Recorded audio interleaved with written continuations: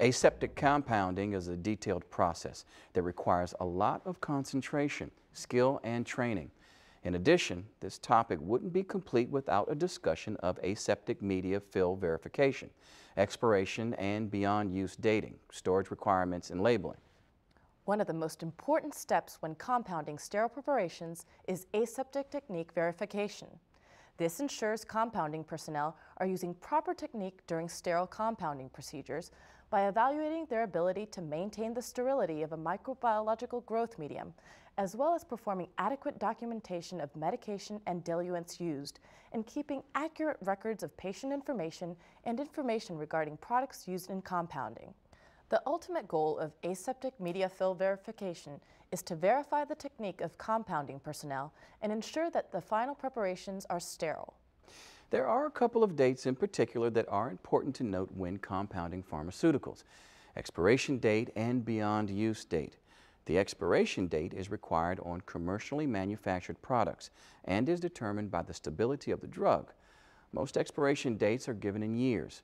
Beyond use dates are used for compounded preparations and are generally given in days or months. Beyond use dates are assigned based on the risk level of the compounded sterile preparation. USP Chapter 797 has very specific beyond use dates for each of the three risk levels.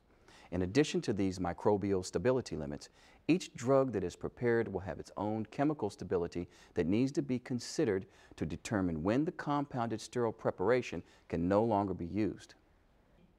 Labels are required and must contain specific information including drug and diluent used, patient identification number, directions for use, the beyond use date, and any other necessary information such as storage requirements and special handling. Now that you've worked so hard to make a safe and effective compounded sterile preparation, packaged and labeled it correctly, don't forget the last step.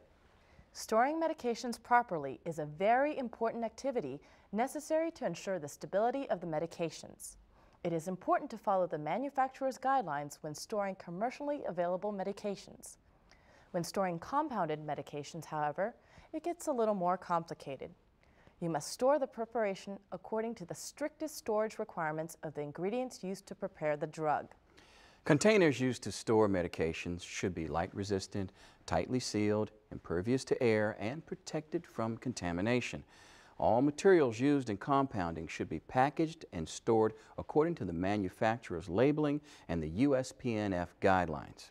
Storage requirements are important to follow because they help prevent contamination or decomposition of medications and solutions.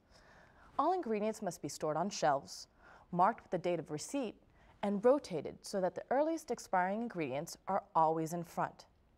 Ingredients should not be used beyond their expiration date. If any specific temperature requirements have been indicated for storage, follow them.